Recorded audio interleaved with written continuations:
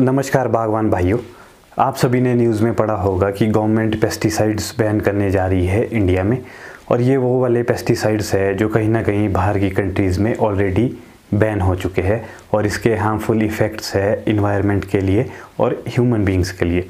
18 मई 2020 को गवर्नमेंट का ऑर्डर आया था, जिसमें मेंशन था कि गवर्नमेंट सताईस पेस्टिसाइड्स बैन करने जा रही है इंडिया में। इसमें 45 डेज़ का टाइम मिला है, जो पेस्टिसाइड्स कंपनी है। तो 45 डेज़ के अंदर वो अपने ऑब्जेक्शन बता सकते हैं, अगर उनके कोई ऑब्जेक्शन है रिगार्डिंग पेस्टिसाइड बैन से। पहले बात करते हैं इसके हिस्टोरिकल बैकग्राउंड के बारे में। 2013 में गवर्नमेंट ने एक कमेटी बनाई थी, जिसका नाम था अनुपम वर्मा कमेटी। इस कमेटी को काम दिया गया छियासठ पेस्टिसाइड को रिव्यू करने का और इनकी एग्ज़ामिनेशन करने का कि इनके हार्मफुल इफ़ेक्ट्स क्या है ह्यूमन बींग्स के लिए और इन्वायरमेंट के लिए। इस कमेटी ने अपनी रिपोर्ट सबमिट की थी 2015 में, जिसमें इन्होंने रिकमेंड किए थे कि जो 18 पेस्टिसाइड्स है जो कहीं ना कहीं बाहर की कंट्रीज़ में बैन हो चुके हैं, वो इंडिया में भी बैन हो जाने चाहिए और उसके हार्मफुल इफ़ेक्ट्स है इन्वायरमेंट के लिए और ह्यूमन बींग्स के लिए।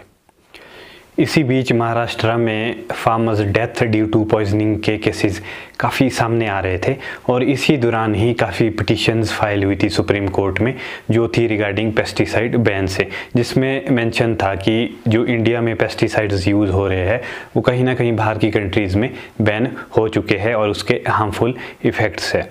तो सुप्रीम कोर्ट ने गवर्नमेंट को ऑर्डर दिया था कि जल्दी से पेस्टिसाइड्स बैन हो जाने चाहिए, जो कि अनुपम वर्मा की कमेटी द्वारा रिकमेंडेड है। और सबसे पहले गवर्नमेंट ने जो पेस्टिसाइड बैन किए थे, वो किए थे 18 अप्रैल 2018 को। इसमें 18 पेस्टिसाइड्स बैन हुए थे और वो वाले पेस्टिसाइड्स बैन हुए थे, जो कि अनुपम वर्मा कमेटी ने रिकमेंड किए थे। प्रेजेंट सिनारियो के बारे में बात करें तो 18 मई 2020 को गवर्नमेंट का ऑर्डर आया था, जिसमें मेंशन था कि सताईस पेस्टिसाइड्स बैन होने जा रहे हैं इंडिया में।